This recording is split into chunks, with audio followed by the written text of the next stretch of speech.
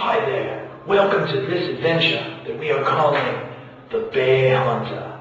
Tonight, we're gonna fearlessly hunt the bear. He's a huge creature that lives in a very messy cave. I wonder if we can catch him, tag him, and hopefully relocate him to somewhere where he will not harm others. Let's go outside and see if we can find us a bear. Look at the bear as he seems to, to warm himself up for his run. He's, he's practicing or running, getting warmed up. Look at him stretch. Look at the size of that one. He's a giant. He's jagnanimous. How can he move? I don't know. Let's see how fast he is. Look at the bear as he runs. I don't know if I can hold this speed for too much longer. For being such a big guy, he's really fast. He's like a gazelle. Look at him as he dodges this way and that. Here's my car. Maybe I'll go ahead and get in. This is my driver, Sergeant Lamora. Look as he's fearless in the perils and dangers. He doesn't mind, though. It's all part of the job. Look at the endurance. He's gone a whole 50 meters and only started wheezing a little bit. See if we can hear the wheezing. Shh, be very quiet. Hear the bear wheeze. It's those massive lungs. Wow. Look at those buns. He must really work out.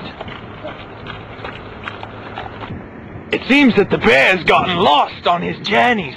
I wonder how he ended up over here. I better not get too close. He looks a bit touched with anger. Look as he searches for the running trail. Obviously, this is not a place he's used to going. If it had been, where's the bench press, he'd have known just where to go. Look how he fumbles with it. Isn't this great? Back hot on pursuit. I'm only about a half a mile away from him. That means I should catch him in no time flat. Obviously, he can't run too fast. It's gotta be the, his immense size. Anyways, here I go. I've got the car already, so when they get there, I can just throw them right inside the door. Should be coming pretty soon.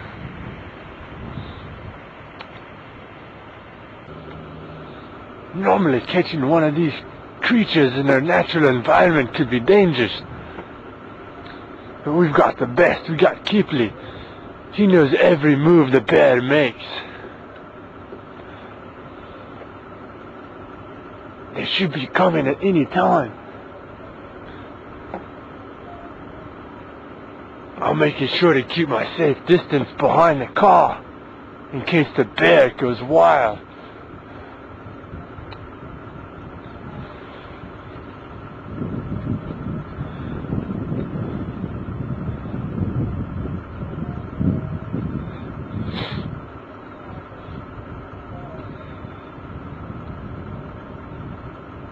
Bear blends in very well at night.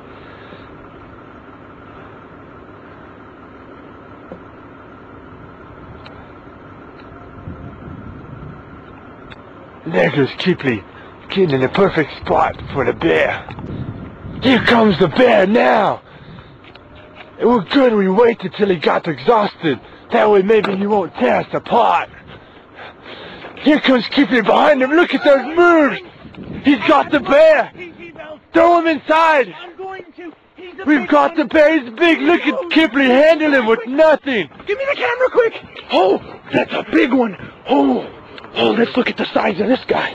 Oh, hold on, let me see. That one! Oh, look at him. We gotta take him and tranquilize him before he goes too wild. I don't know that he needs a tranquilizer with all that PT. Oh, look at that. He's a beaut. He's about to go into hibernation. He's so tired. Oh, we better get him back quick to relocate him out of this dangerous environment and put him in a safer one, like a chair. We gotta drop the bear off at his bear cave to go poopy. I think with all that excitement with the relocation process and all, he gotta be excited and he's about to shit himself. Ah! Poopy, watch.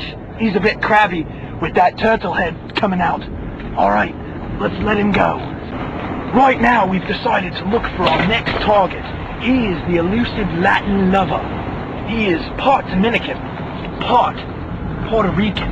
We have got to find him. His name's Diaza. I've spotted Diaza, the Latin lover, our next target. There he is, standing on gate, obviously trying to lure in another victim. We won't let him know.